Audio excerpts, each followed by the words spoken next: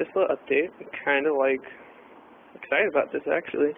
I've got majority of everything wired except for the instrument cluster. I've got a push button here. And you push it and the light starts flashing and it turns on all accessories and stuff. You hold it for three seconds. Two, three, four. Let go and the engine starts.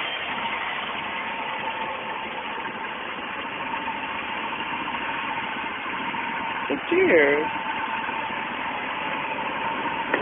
It's not working again. Well, was it just one more thing to work out? It, it's very possible this bulb is just screwed up.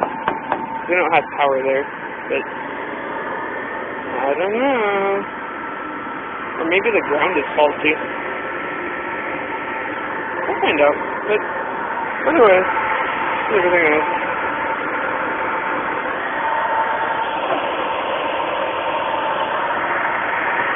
Parts and everything everywhere. Engine needs a bath, I know, but very cool.